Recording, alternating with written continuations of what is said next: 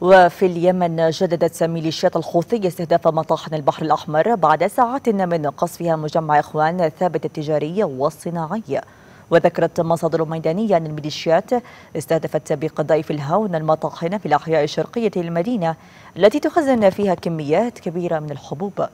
وأشارت إلى أن قذيفة قذيفة سقطت بجوار صوامع الغلال المليئة بكميات كبيرة من القمح التابعة لبرنامج الغذاء العالمي التي تلبي احتياجات أكثر من ثلاثة ملايين جائعة.